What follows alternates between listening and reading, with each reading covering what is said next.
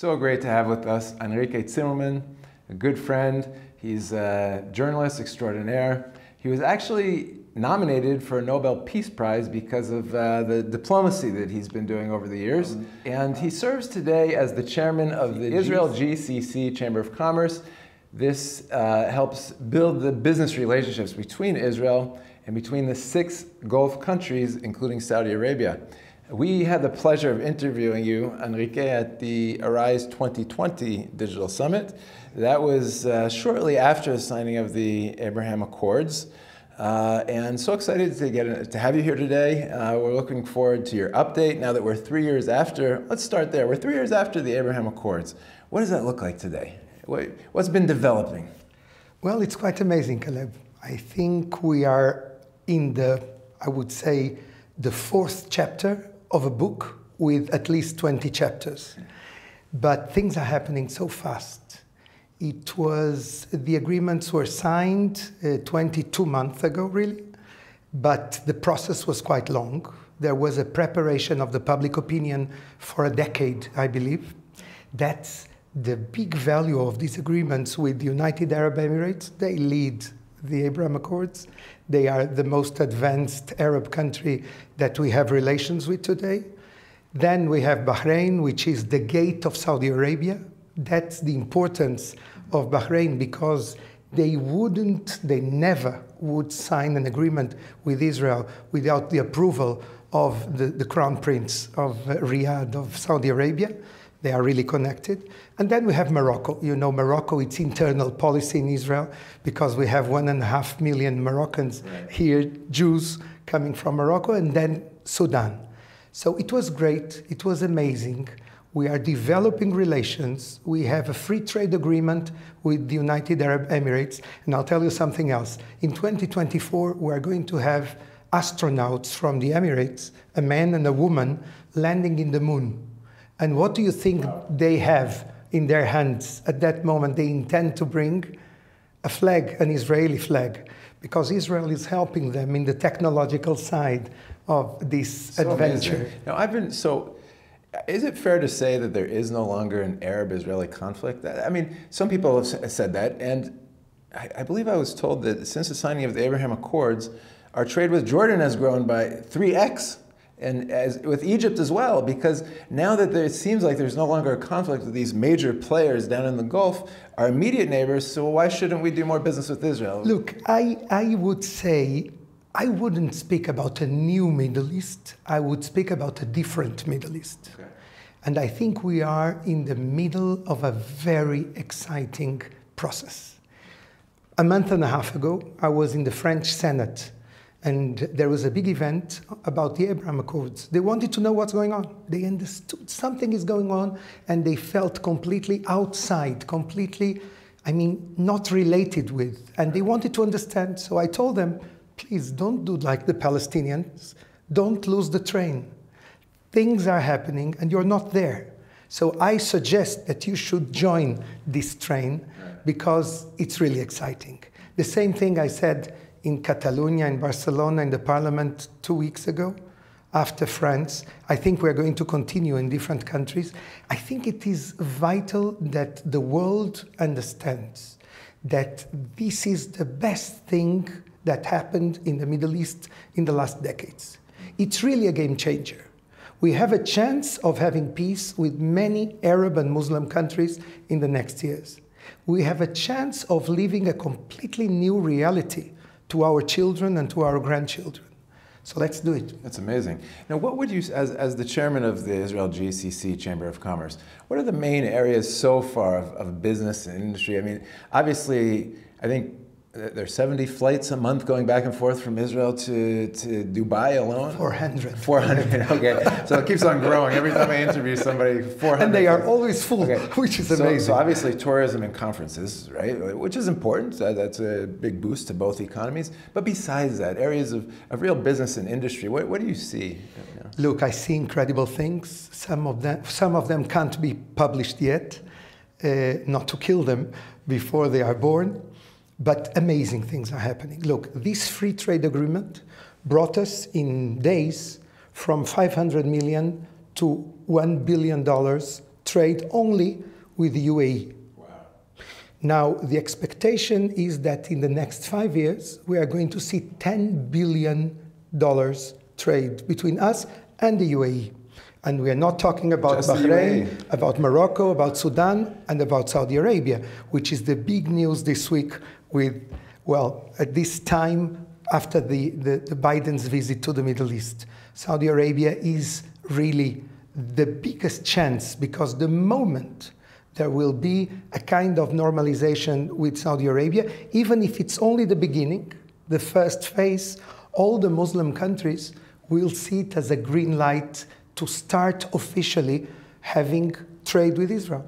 So here we are three years after the Abraham Accords. As somebody who worked behind the scenes to build the Abraham Accords before they were signed, is it fair to say that today Israel and its relationship with Saudi Arabia is where Israel was with the UAE and Bahrain five or six years ago? Is it, as far as uh, dip, unofficial diplomatic uh, relations and business relations and, and, and defense relations, etc.? No, I think we are much more advanced. Wow. I think we have, and it's not a secret because it's being, you know, a little bit uh, uh, leaked, that our relation with Saudi Arabia is much deeper than it is reflected in the media for a long time because of many reasons. I met an official from Saudi Arabia, very high official, very known. Uh, he was the, the head of the intelligence services in, in Saudi Arabia for 20 years, Prince Turki Al Faisal. And I met him in the United States many years ago, almost a decade ago. He invited me for a meeting, and it was the first time, Calev, that I understood that we understand nothing, that things are happening and we are not aware of, of this, that in a way the Arab world is changing the priorities. So he asked me many questions, and then he said, Now your turn, ask me whatever you want. So I asked him my question that I brought from Israel, which was, What happened to you guys? I mean, Your Highness, I said, You, you came, you wanted to destroy Israel in the last century. That was the common platform of most of the Arab leaders. What happened to you that now you want a flirt with Israel? At that time, it was the beginning of the flirt. So he said, Look, we have common enemies, we know. Iran, the world jihad groups, they threat you, they threat us in the same way, and we need to be protected. And you're going to see now this route of new NATO that is being created in the Middle East. You know, it's not a secret. This meeting was, was in 2013, first time. And since then, I think he changed my life because I, I understood the importance of opening doors, mainly in the Gulf, but not only in the Gulf, also in Northern Africa. And I started this work state, country by country. And I think we succeed. But then he said to me, there is something else. We want you to be not only the startup nation, but to be the startup region. We want to share with you to help you to develop the technologies that you have. You're amazing in the technological side, so let's do it together. And the most important thing was, he said then, and since I was in Saudi Arabia and in many countries, I understood he was right. 70% of the Saudi population are under 30. And for them, as you said before, the wars of the last century are like the Roman wars. Right, longer relevance. Past, Yeah. passé. Yeah. So they're they- connected to social networks. They're, yeah, Exactly. yeah, they look. news. And you know what they dream about? When I've been in Saudi Arabia, I met a group of youngsters, 50 youngsters, men and women, students, and I asked them, What is your dream? They said to visit Tel Aviv. Wow. That's the icon. Exactly. They want to come. They know that Tel Aviv is Yeah. like they can enjoy in Tel Aviv. So for them, it's like a dream. They look at Tel Aviv like something. No, I think we are living a new world, but we can't forget that we have spoilers. We have here groups, proxies of Iran that are all the time trying to destroy this dream. Right. So I think that was the reason of this new coalition, but they are still threatening it all the time. So we, so we, uh, a lot of the people, most of the people who follow us are Christian business people, mostly evangelical Christian business people around mm-hmm. the world. Um, some of them are considering investing right now in Israeli-Saudi projects uh, that uh, will build. For instance, uh, Neom, it's, it's you know obviously the new smart city, which is which is maybe the most important thing on the agenda of MBS. He's trying to raise 500 billion dollars uh, to, to build this new city with zero carbon emissions, uh, highly advanced technologically, and so on and so forth. So, how would you explain um, the importance of investing in Israeli Saudi Arabia projects for the diplomatic future and the security future of Israel? You know, most, most of our viewers are watching this because they support Israel and they see it as a miracle, a miracle of biblical significance and, and very important. Why would it be important for them to consider playing a part in this? First of all, because it's Israel. And I, you know, recently I've been saying in different parliaments in the world something that I believe deeply that this country is the main achievement of humanity in the last century. And I thought that some members of the parliament would, you know, would scream and would say, What are you saying? What are you saying? No, some people even applaud when I said that because I deeply believe we can prove it. I, I can tell you that things like, for instance, Hebrew, a language that was dead for 2,000 years, that was only religious, now it's something that we speak normally in the streets. That's a miracle. I mean, you can't, as Abba Eban said once, in a country like Israel, if you don't believe in miracles, you're not realistic. Right. And, and, and, that's exactly, we, it's really a miracle. But then, if you ask me why to invest here, because it's really a good business. Mm. I really believe, and I see it with my eyes when I visit the Arab countries, that this new relation between Israel and them is very, very smart. We have the know how, and they have the finances. And I think we can do here really important things, but that's now or maybe never.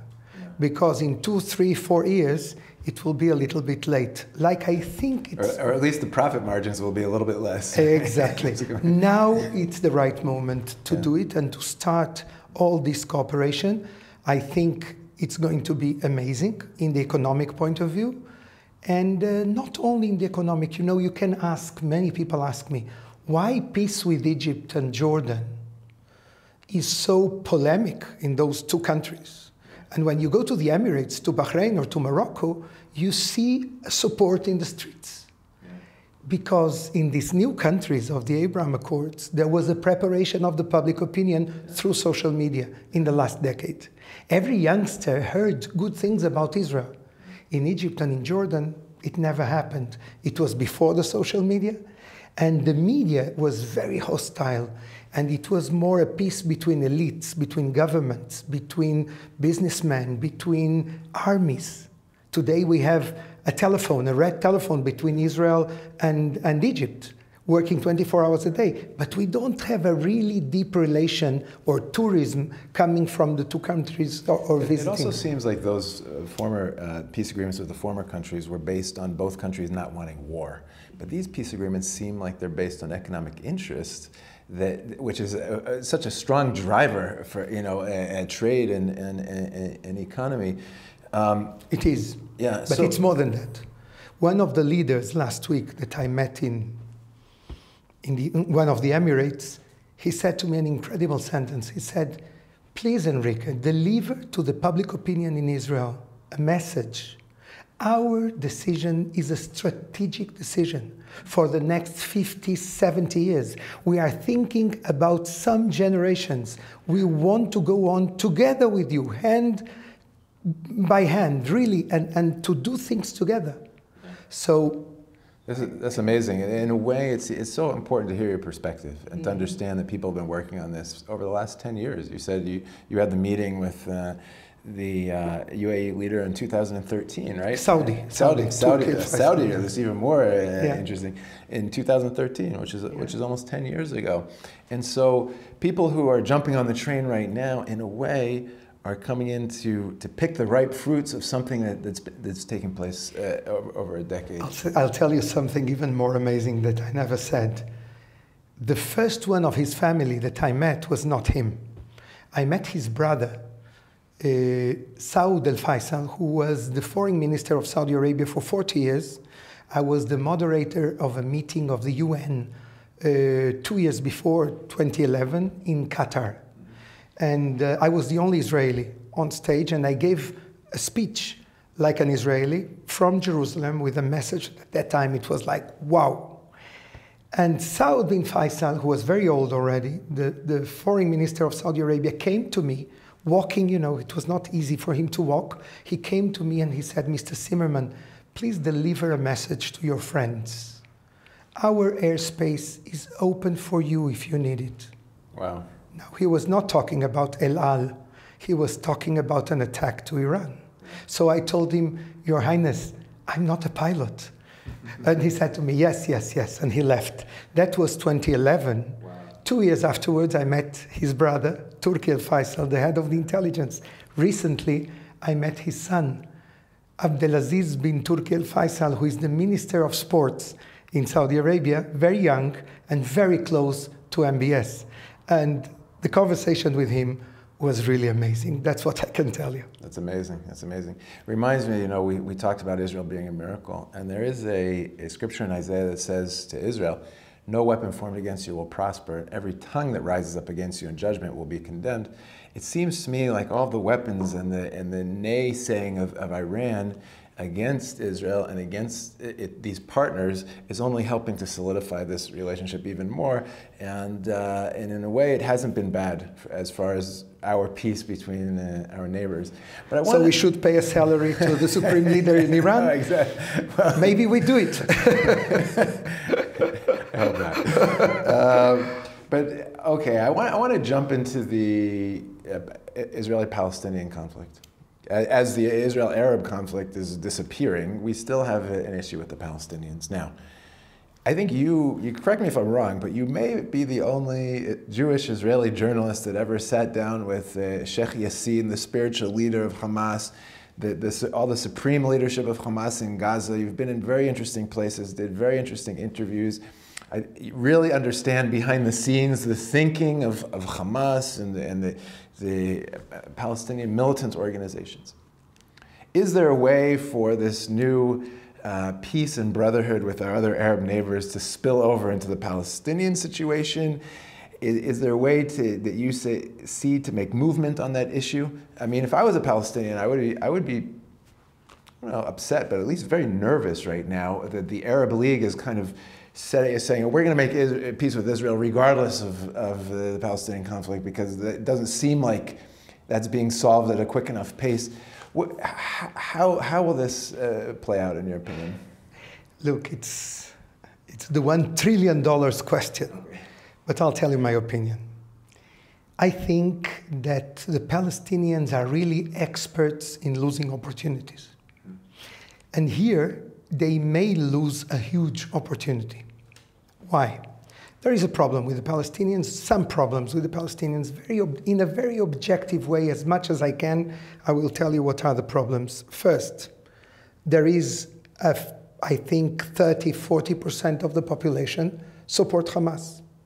And Hamas, I know because I interviewed all the leaders, not only Yassin of Hamas till today, all of them all of them many times. Uh, and recently I didn't interview, but I met Khalid Mashal in Qatar and I spoke with them. There is a problem. The majority of Hamas, not all of them, the majority of the leadership, they still believe in the destruction of Israel. The difference between them and Daesh, the Islamic State, is not huge. They both believe in an Islamic state all over the area in Israel, in Palestine, they don't accept a Palestinian state. Palestine by them is defined by the entire Israeli map, exactly. right? so for them, they want to replace all this area with an Islamic state, not a Palestinian secular state, like, like Mahmoud Abbas uh, wants. Now, that's one problem. So, with whom are we going to do peace, to make peace? Are we going to do it with only one part of the Palestinians? Is it enough? And besides, there are two Palestines, not one. You have the one in the West Bank controlled by the Palestinian Authority, and you have the one in Gaza with Hamas. So with whom And are some people say they hate each other more than they, each one hates us. Absolutely. Not, I I know that. They really hate each other deeply because they represent two ways of living completely different. So they, they really, there is a hostility, there is a civil war, a That's true. passive civil the vast war between majority them. of the, of the of the killings, of Absolutely. the arrests, of the, of the torture and degrading treatment, executions without trial, it's Hamas against PLO, PLO against Hamas. Israel's not even involved in. Absolutely, the hatred is, is deep between them. So, with whom do we deal? Number two or number three, we have a leadership problem. There is a gentleman that President Mahmoud Abbas, that I know very well. I used to, to eat with him lunch uh, every month for many years. And I met him since he was num- the number two of Arafat. And I think he had good intentions, really. But today, he's an 86 years old man, ill, isolated. In COVID, he was completely alone because he was afraid.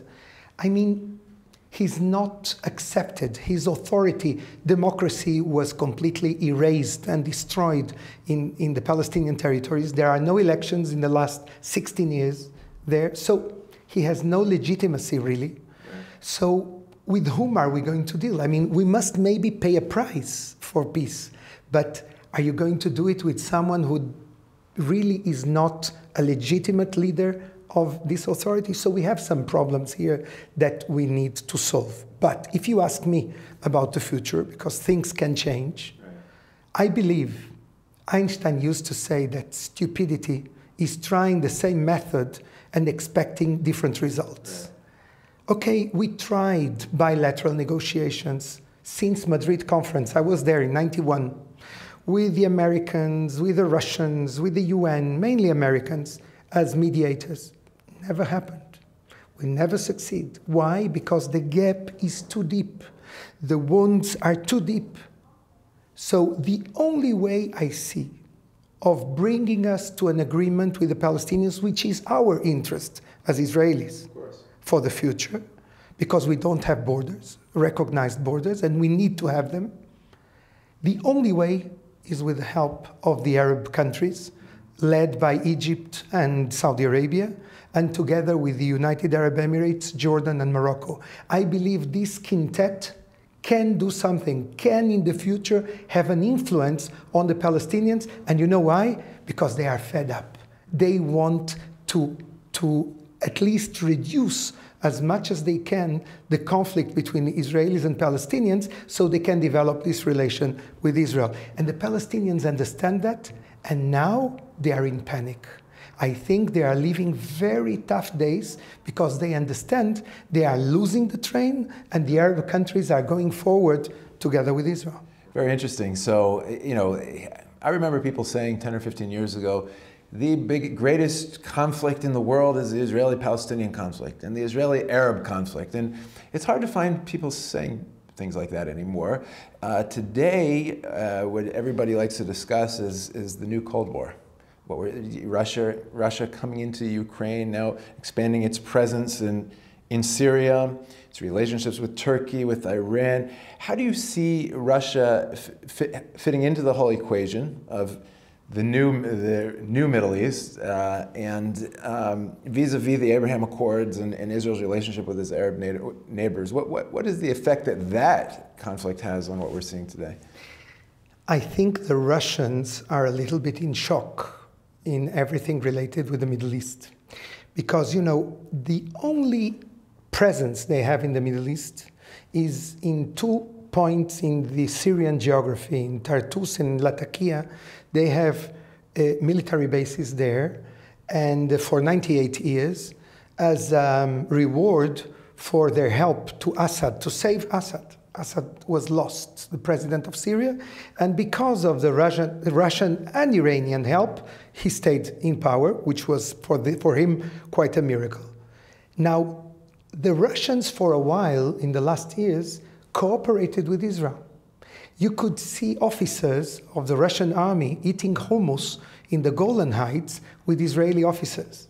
And that's how they closed their eyes when Israel attacked uh, pro Iranian and Iranian Uh, military militias in, in Syria. Suddenly, we see a new situation. We see that Russia wants to fight for their old, ancient role when they were the USSR. They never accepted to become a second line superpower. They see that in the modern world, they see the United States as the first, then they see China threatening the United States. In a way, they see the European Union with many crises, but still a superpower, and they are forget, forgotten in, in a way, and they feel that what they are doing now is to fight for their pride, to fight for their role, and to say, gentlemen, don't forget something. We have the biggest nuclear arsenal in the world.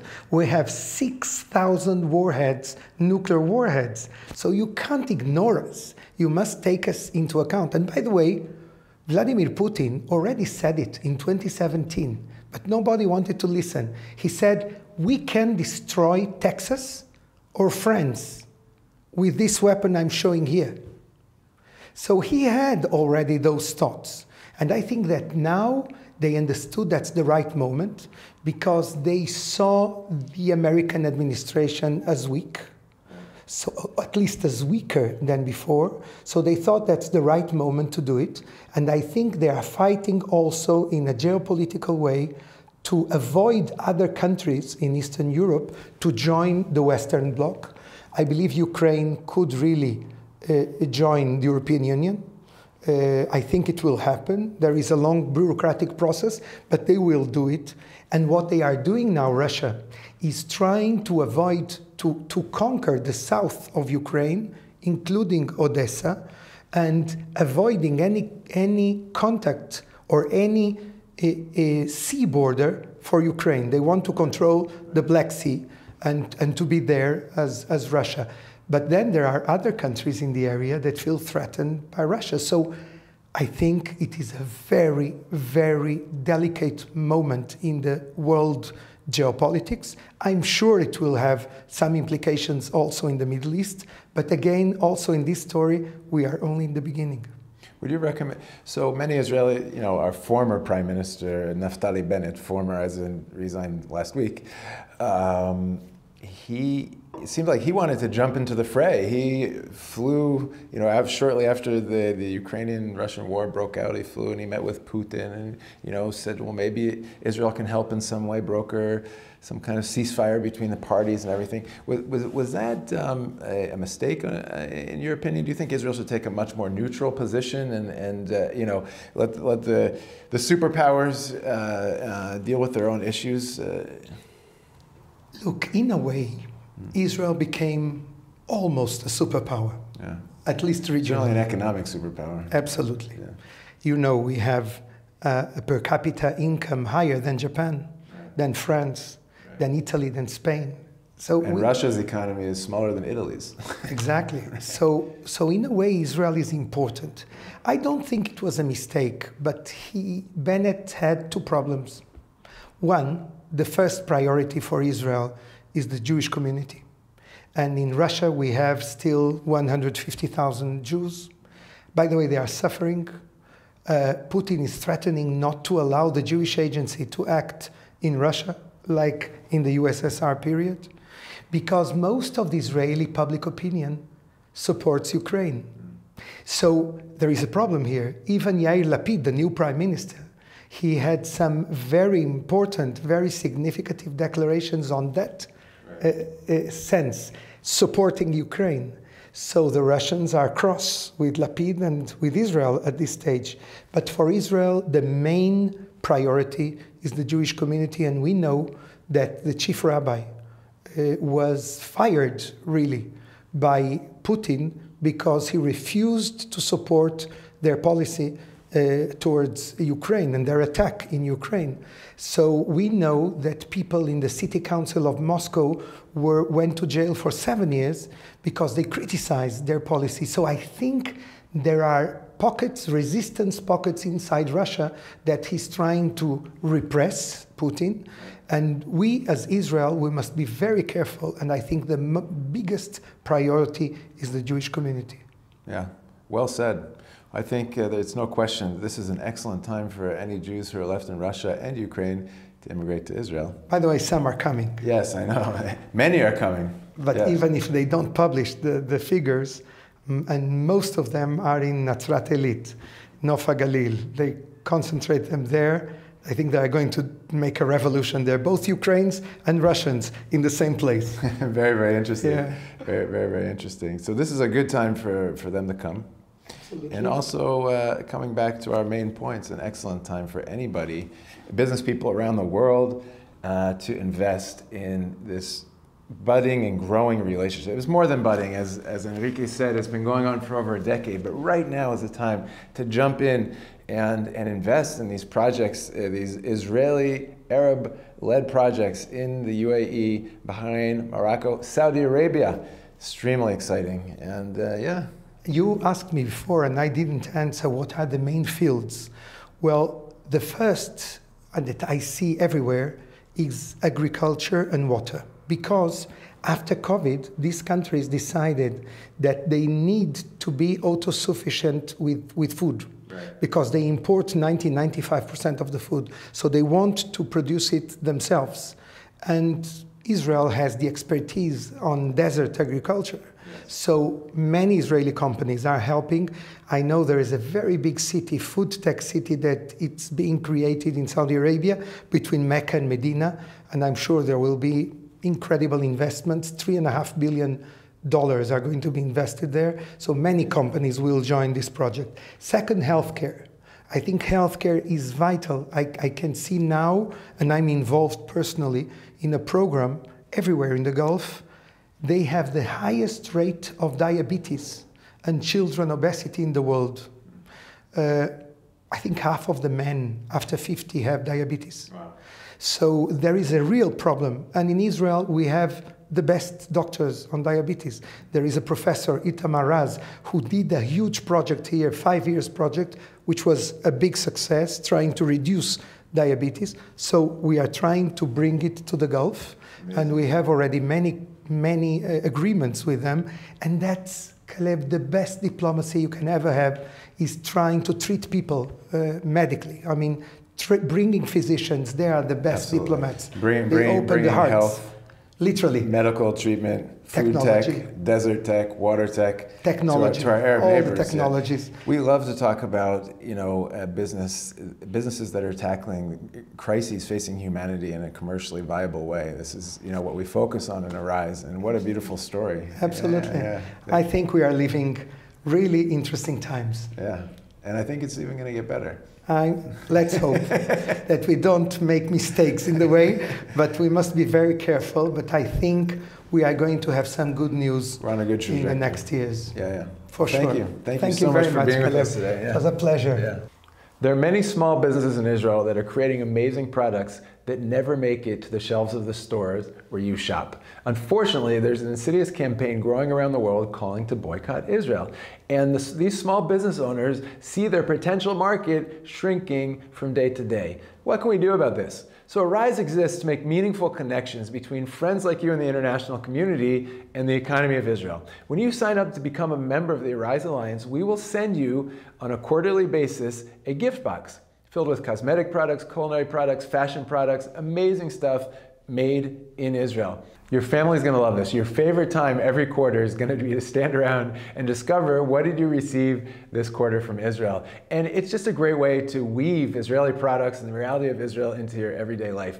Make sure you become a member today and help support small businesses and create jobs in Israel. Thank you.